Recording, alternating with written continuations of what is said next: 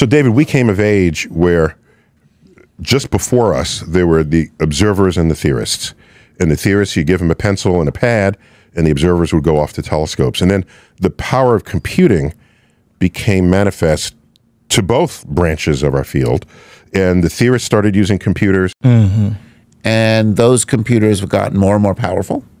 So we can now do detailed simulations of how stars form, how they evolve, how they explode. So they're not just comp- you're not just computing formulas. You are running simulations of the universe on timescales that we don't live long enough to see. Wow. And you can do it on the computer. That's a see. That's awesome. No, it is. I It love is. that. You know what happened in our lifetime? I got to tell it. Let me- let me tell the story. Just in the generation before us, there was a very important observer, Chip Arp was his name. Uh, Halton Arp is his full name, and he compiled a volume of galaxies that just looked weird. Mm-hmm. Okay, and it was called the Atlas of Peculiar Galaxies.